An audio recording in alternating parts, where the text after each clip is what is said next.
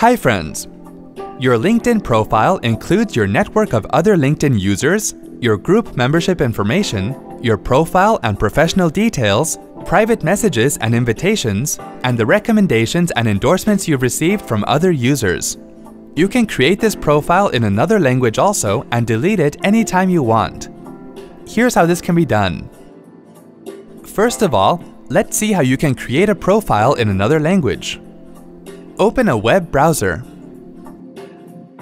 Type www.linkedin.com on the address bar and then press the Enter key to access the LinkedIn web page. When the login page opens, sign in to your LinkedIn account.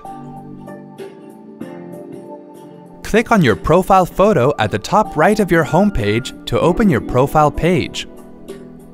On your profile page, click the down arrow next to the Edit Profile button and select Create Profile in another language. Choose a language from the drop-down list and update any other required fields. Once done, click on the Create Profile button. You would get a message saying, a profile has been created in the selected language. Please continue editing your new profile below. As we have created this profile for demo purpose only, we are clicking on Done Editing here. Our LinkedIn profile in a different language has been created now. Now let's see how you can delete this secondary language profile.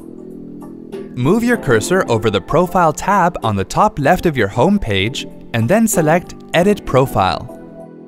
Select the language from the Profile drop-down list on the right